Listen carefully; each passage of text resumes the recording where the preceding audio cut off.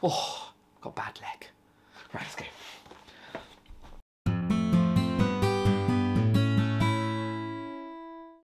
What is up, everyone? Fish Shop Matt here. So, you well, I don't know, you might all know, you might not.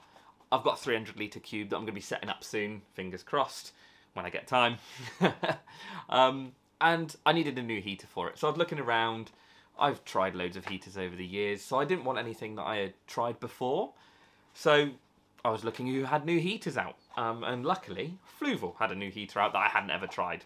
I ordered two ordered one for up my upstairs quarantine tank, um, which is like a little, I don't know, 30 litre. Ordered one for the cube tank that's that way, um, which is a big, like 300 litre cube. And those heaters from Fluval are the T series. Dun, dun, dun. Um, ooh, blurry. There we go. Nothing too exciting, really. They are still a glass heater, so, uh, you know, I, I wasn't overly sort of um, excited. This video probably wasn't going to happen, to be honest. It, it, it wasn't something that I thought of.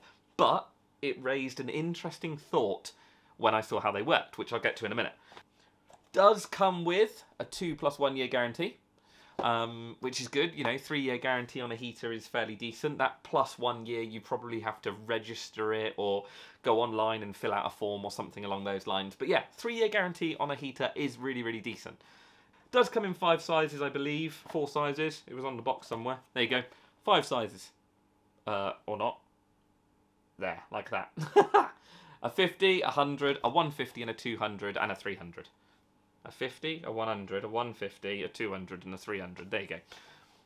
Each one of those, the wattages relates to the size of volume of water it will do in litres. So a 300 is going to do a 300, a 50 is going to do 50 litres. Sorry if this seems a little bit disjointed, if the lights have changed on the tank. Essentially this bit of footage was missing when I went to edit, so don't know where it went. But I wanted to say that not all the heaters on the market are created the same. Yes, I say that they are all a glass heater, but they can be different. With the T-Series heaters from Fluval, they have actually got digital sensors inside them that should in theory mean that the temperature of your aquarium stays more stable. You should definitely get less fluctuations. A lot of the cheaper heaters on the market are actually created with biometallic strips inside them. They don't tend to be as accurate and they tend to fail a little bit more. So the T-Series should in theory give you a lot more sort of peace of mind with the safety and the heating on your aquarium. But the two main things that set it apart from any other heater is, well, I say any other heater. One is if you take the heater out of the water or you drain your tank down, the heater switches itself off, which is out there on other models. Um, I have used heaters before with that function on them. I've never really found them that good.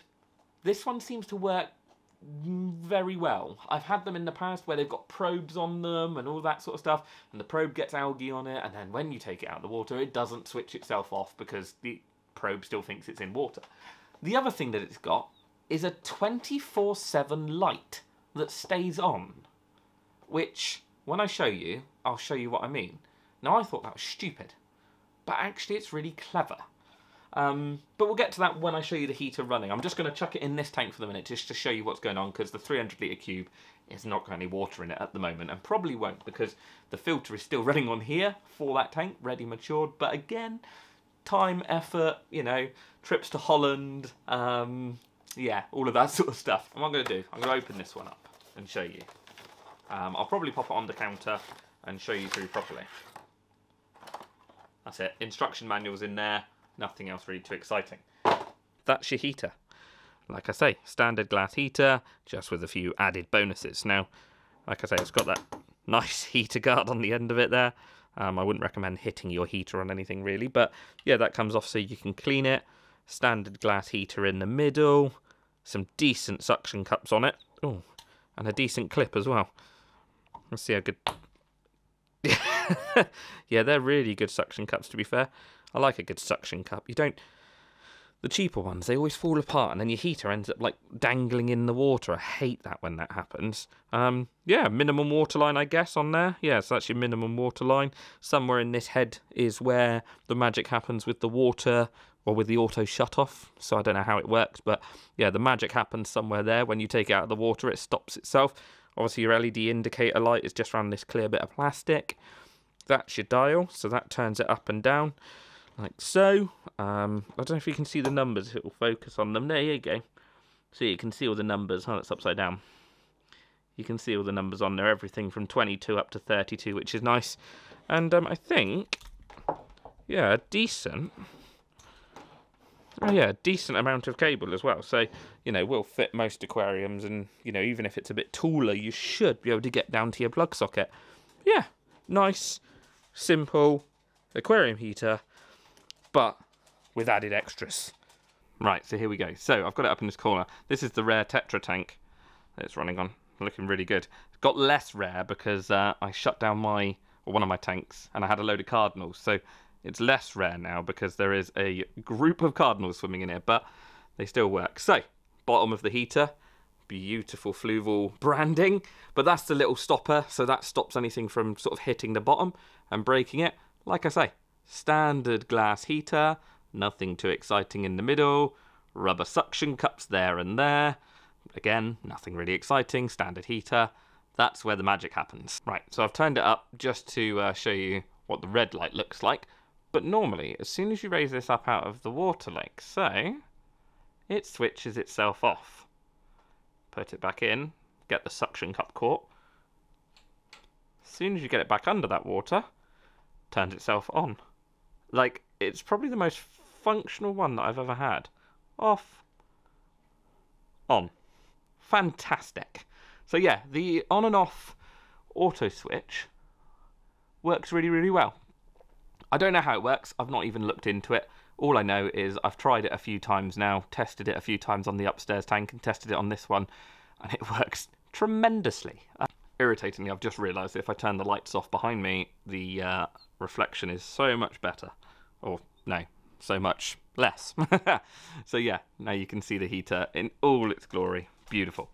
Um, so yeah, like I say, the uh, the on-off sweet on-off function works really really well. Now, um, if I oh oh dear, pardon me. Um, if I what was I going to talk about? Oh, the lights. Okay, cool. So red light when it is heating. Perfect. That makes sense. All other heaters are like that. The red light turns on when it's heating up the water.